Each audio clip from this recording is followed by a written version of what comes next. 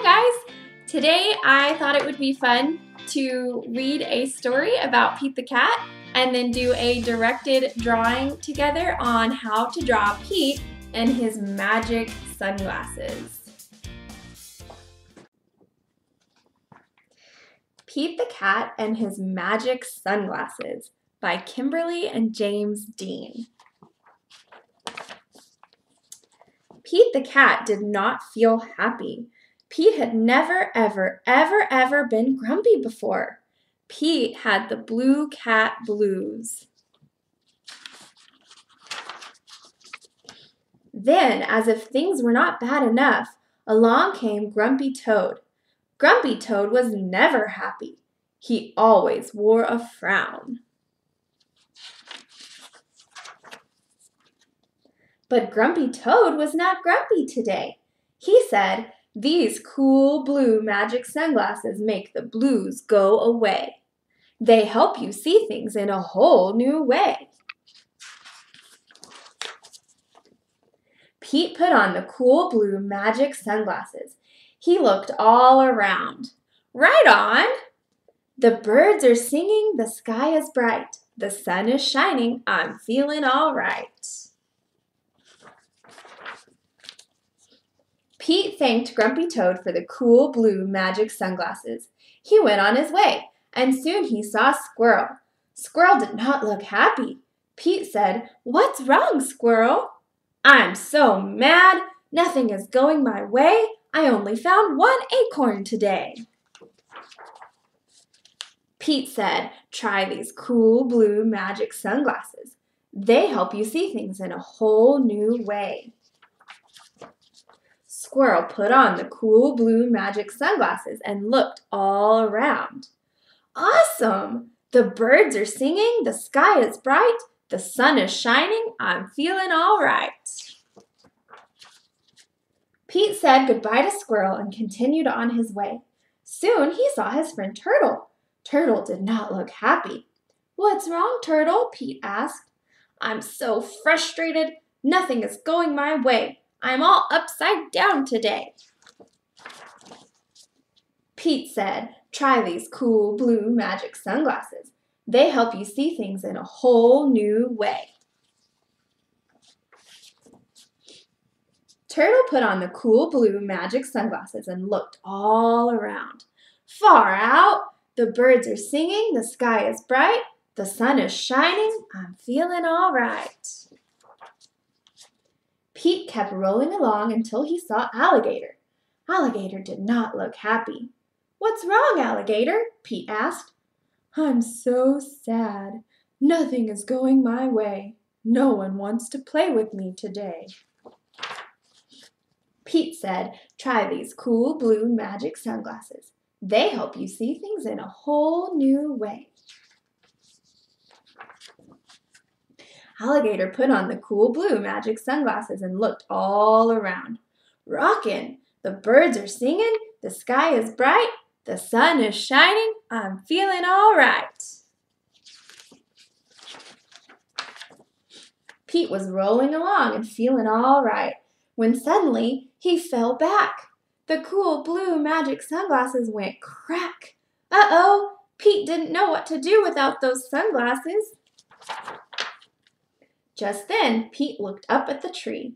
Wise old owl said, Pete, you don't need magic sunglasses to see things in a new way. Just remember to look for the good in every day. Pete looked around without his sunglasses. Too cool! The birds are singing, the sky is bright, the sun is shining, we're feeling all right. The end.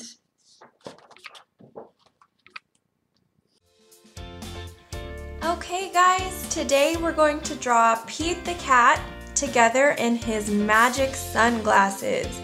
Now you may want to start drawing with a pencil first so you can erase if you need to, but I'm going to start drawing with a Sharpie so that you can see what I'm doing. And once you've finished your pencil drawing, then you can trace over all the lines with a Sharpie or a black marker or um, just something that will give it a nice outline. Okay, so let's draw Pete the cat when he gets his magic blue sunglasses and all of a sudden everything is bright and shiny. All right, so to draw Pete, we're gonna draw him over here to the side of our paper and we have our paper landscape. That means it's wide or horizontal. This would be portrait or vertical, but we're putting our paper horizontal or landscape. All right, to start drawing Pete, we're gonna make the top of his head and it's a little curve like that. And he has these two pointy ears that stick up and they're kind of like triangles. They're these funny little triangles that come down like that. All right, now Pete has kind of a, a funny face. So the sides of his face come down a little bit more and then they come back in like this down to where his neck and his body would be. And then he has kind of a funny like skinny body. And so we'll just make his little skinny body come all the way down to the bottom of the paper. All right, so Pete has some sunglasses on and those look like ovals and they take up most of his face. So we're gonna draw big oval with the little part for nose and then another big oval on this side. And then let's let's make another one right inside. That's kind of the rim of the sunglasses. Okay, and then you can kind of see the little pieces that stick off the side like that.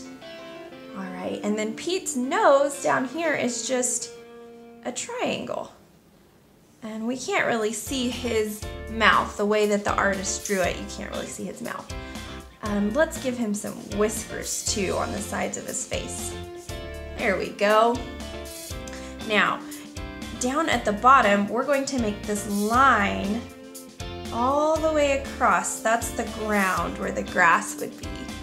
And then up here in the sky, we're gonna make a big sunshine. So let's make a big circle and then we'll make these rectangles for the sun's rays. So that one kind of looks like it's it's behind Pete in the background. Okay, and then in the in the illustration in the book, there's a little a little house and a little tree down here, so I think I'm going to draw that as well. So for the house, we'll put the two sides and then it has a peak at the top, kind of like a triangle top. And then the roof is right on top, and then it has a little rectangle chimney, a little rectangle door, and two little rectangle windows.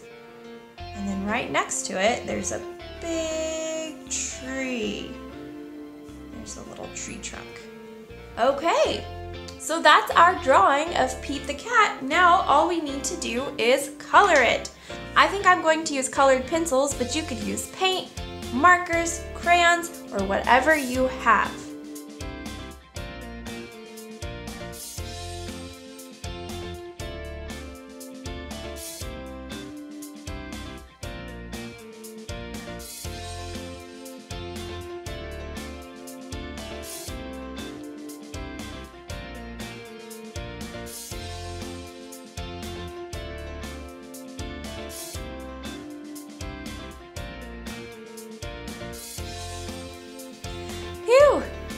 Sometimes your arm gets tired and you just have to shake it out.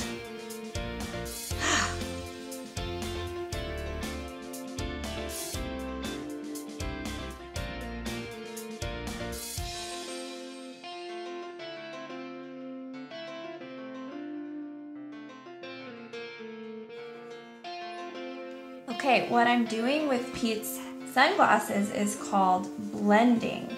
So blending is where you take more than one color and you kind of go over each other.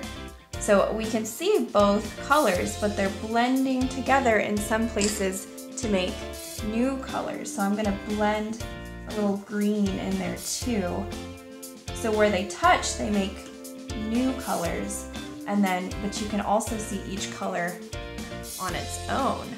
And they're creating this really cool effect. Then he has some yellow in there too. So your colors can go on top of one another. They can touch and all blend together.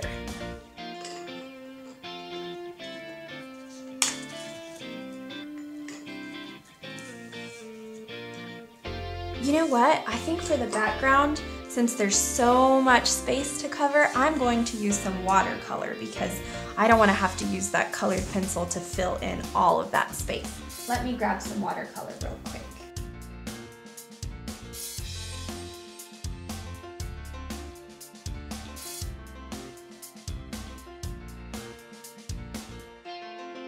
I would love to see your Pete the Cat drawings on Instagram just tag my account at art.lately.